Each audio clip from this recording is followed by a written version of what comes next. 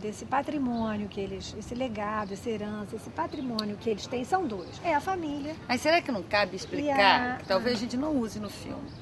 Mas de alguma maneira que a comunidade, que as terras de, de pretos camponeses com posse coletiva da terra se qualificavam para o artigo.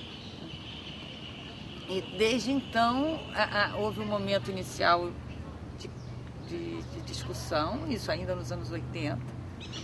A, a tendência, se, quem seria o especialista que atuar no processo? Se iam ser historiadores ou antropólogos.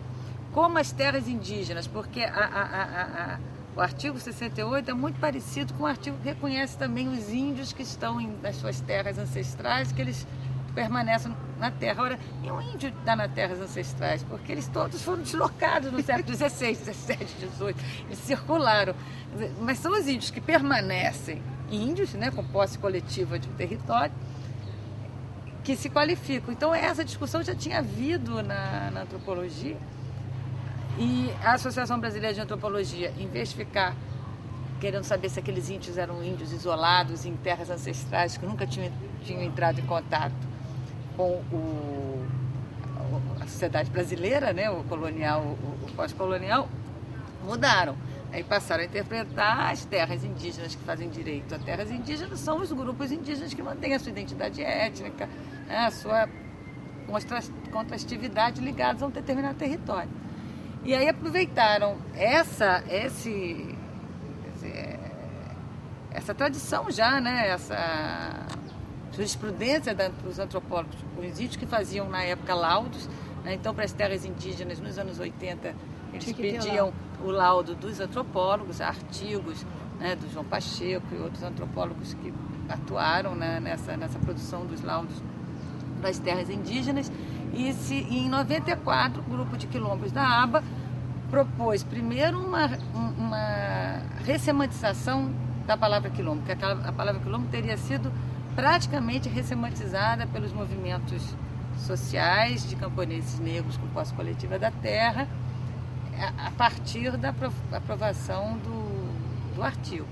E que quilombo passava a ser o quilombo contemporâneo, o quilombo da lei, né, o remanescente de quilombo, eram é, grupos negros com remanescentes da experiência da escravidão que se mantinham com uma estrutura comunitária num território coletivo. Aí o Fernando Henrique, e, e, é, é, já, isso já se torna, de certa maneira, um, uma base para o trabalho jurídico, e o Fernando Henrique Cardoso tenta, o governo o Fernando Henrique tenta legislar sobre isso, mas e, e, aí afirma que realmente o quilombo não precisa ser descendente de escravos fugidos, mas remanescente da experiência da escravidão, mas tenta fazer um, um decreto que dizia que eles tinham que provar que estavam há mais de 100 anos na Terra. Aí tem uma grande teve uma grande oposição e quando vem o governo Lula, ele revoga o decreto. Fernando Henrique coloca um, um decreto que é, é, é, é enfatizava alto, o auto reconhecimento. E é esse decreto que, pro, que produziu uma verdadeira explosão né, de, de uma sociogênese de. São são 2.228 de 2.000 a 4.000 quilômetros. Aí, efetivamente, o número aumentou muito, é o que o Denis. Ah, não vou citar o nome do cara, não, né? Mas o que tem sido muito criticado. Mas esse fenômeno de sociogênese vem do quê? Uma série de grupos, exatamente essa memória que a gente está descobrindo aqui. Né? Alguns dessas, desses grupos são o Bracuí, a Rasa, né? o Campinho da Independência, São José da Serra, e uma série de é, é, é, de outros que estão surgindo, que são camponeses negros, em geral, uma memória dessa experiência da última geração de africanos, com tradições como jongos, calangos, folias, relações comunitárias, que de repente acionam isso e a partir disso podem reivindicar a, o reconhecimento da sua posse tradicional da terra, né? marambaia.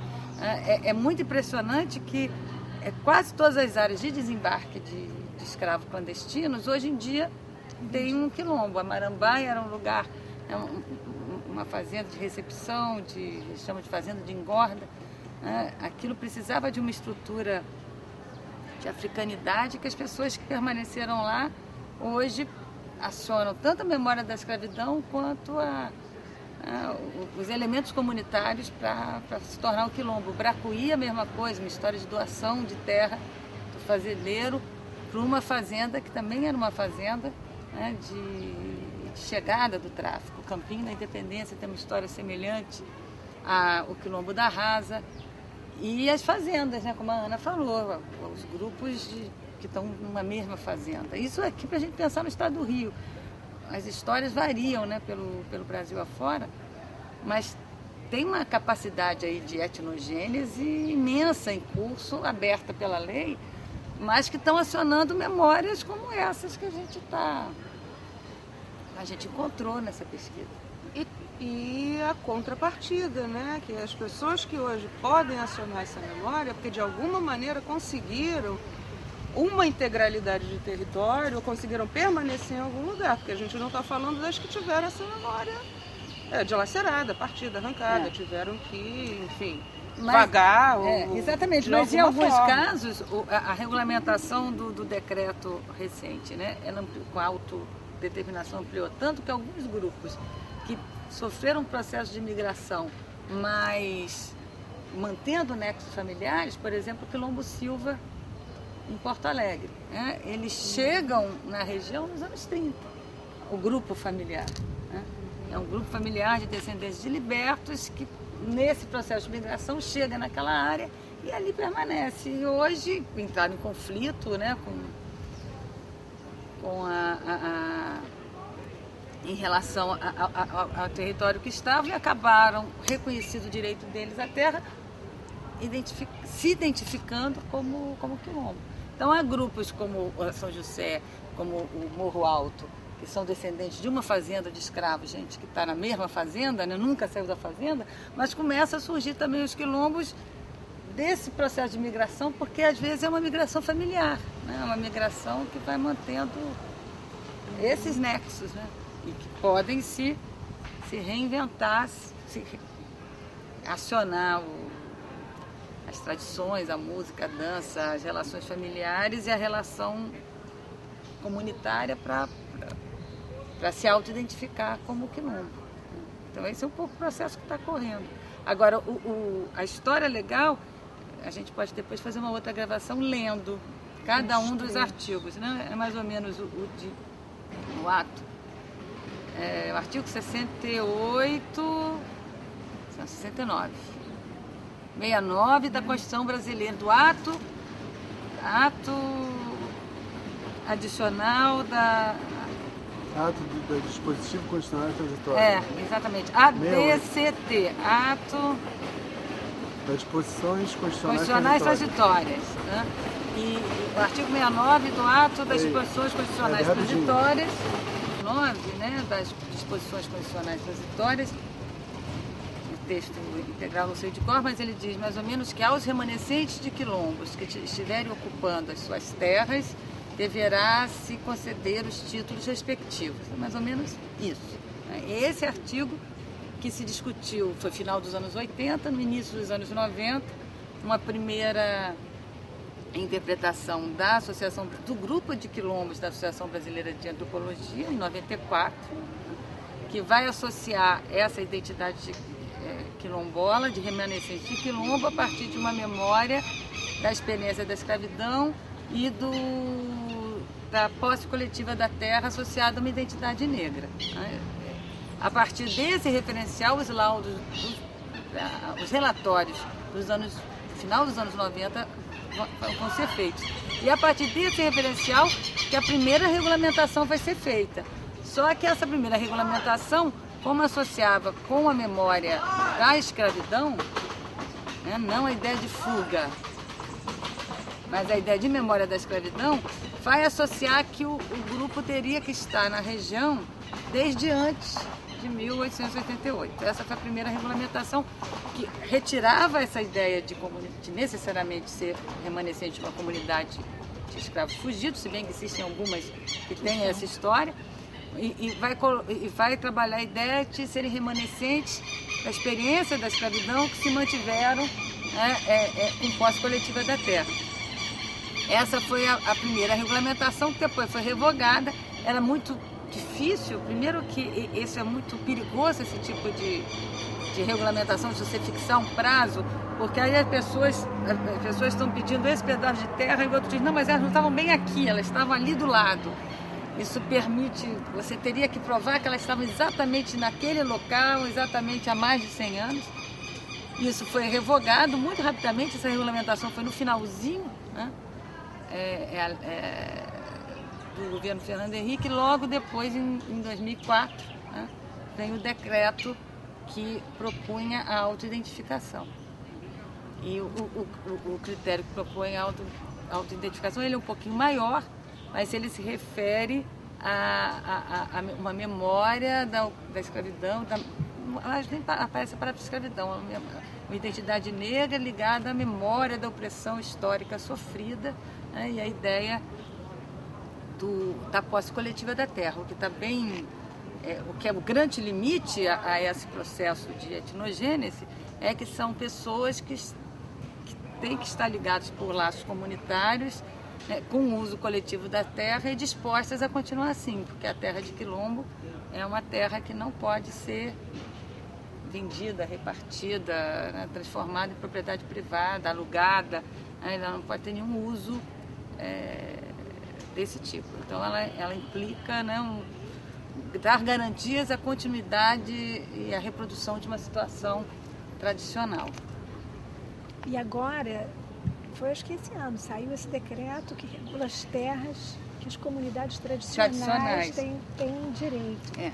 Eu não sei, e os quilombos estão incorporados. Incorpor... É. As comunidades tradicionais, tradicionais, estão os quilombos, as comunidades indígenas, os pescadores, tem vários outros. Isso. Agora a comunidade tradicional. Começou a se fazer uma crítica que estava etnizado demais. Você tinha as comunidades indígenas, porque o que aconteceu com as comunidades indígenas? Além das comunidades indígenas com língua própria, com uma contrastividade muito grande, uma série, um campesinato indígena, em geral remanescente dos aldeamentos do século XIX, começou a surgir no Nordeste, chamados, né, principalmente no Nordeste, chamados índios emergentes. Né? Você tinha a, as comunidades indígenas, as comunidades quilombolas, mas há outras comunidades tradicionais que não, no sentido que são grupos com posse coletiva da terra, com, História, com estilos tradicionais de vida que não são necessariamente ligados à memória, seja do, do aldeamento indígena ou, tá, da ou da escravidão, né? E, portanto, pescadores, é, pescadores. Tem serigueiros, é. tem, tem, você tem que cair na. É. São várias categorias listadas. Eu não,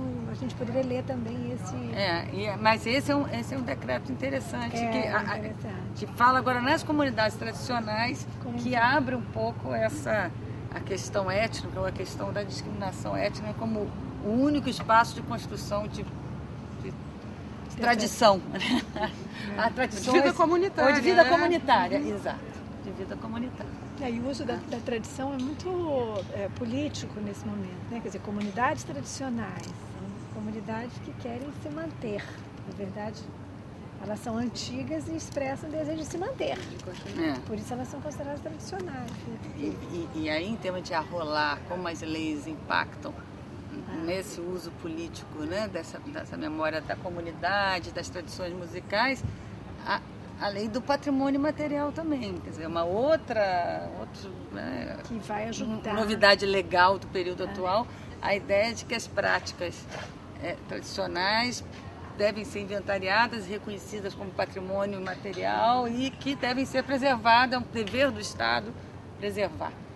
Então isso, essas duas coisas se juntam. As comunidades que têm esse patrimônio material, o estilo de vida que construiu esse patrimônio tem de alguma maneira ser reproduzido, né? ter condições de, de, de reprodução. De sustentar. Né?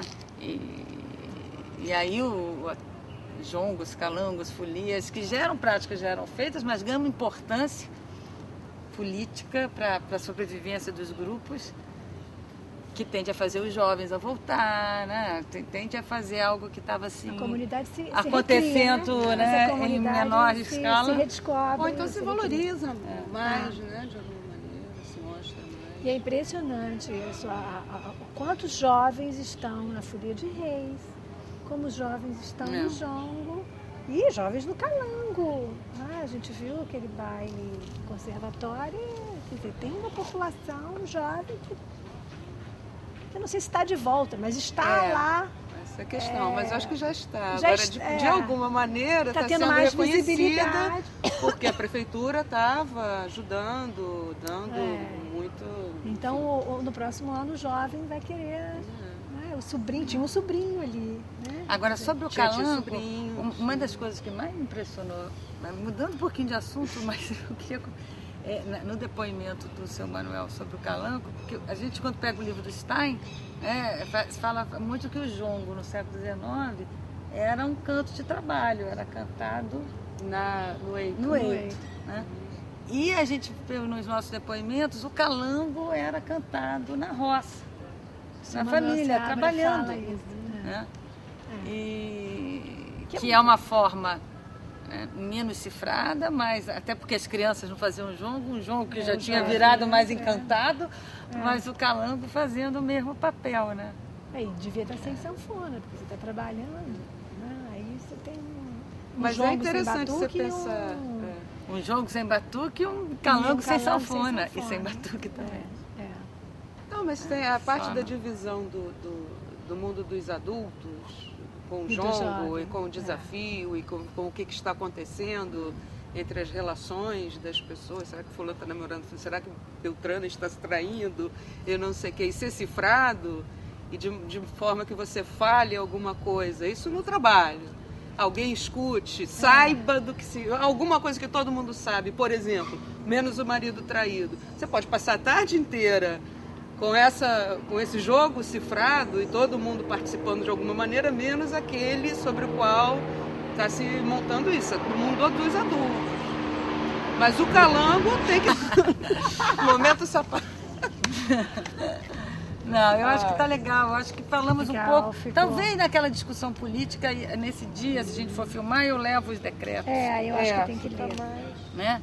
Porque eu acho que fica mais É porque assim. essa parte Mas de que repente é bom ter várias né? vezes. Só não pode ser muito ter várias grande, formas, é, porque vai ser que uma- coisas é, muito, muito- pontuais e, e importantes. É, se nós for filmar mais à frente.